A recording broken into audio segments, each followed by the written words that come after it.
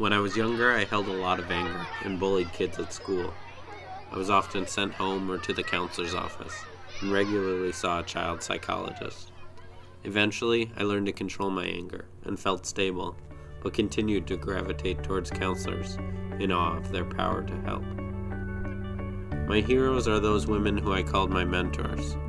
They raised me, encouraged me, and counseled me when I needed guidance.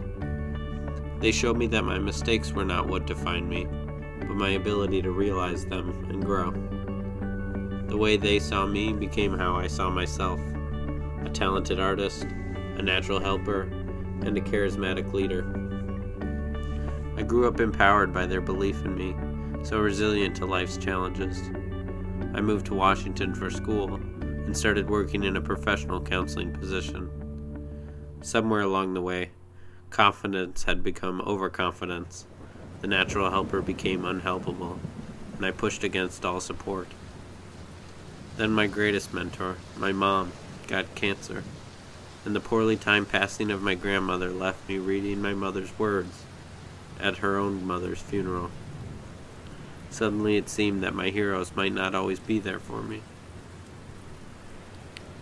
Returning to school shaken, familiar forces grew inside me. I became angry and manipulative. I turned 21, and two days later, my close friend Anna died. My ego of invulnerability shattered, leaving me detached with a desolate view of life. I felt only pain and fear for more pain to come. I couldn't hold myself up. I needed help, and I finally found it in my mentors, new and old. My crisis made me realize something that must have been so obvious to them. My greatest strength was not my counseling skills. I got those from surrounding myself by counselor types. It came before that, in my ability to recognize my weaknesses and seek and accept help.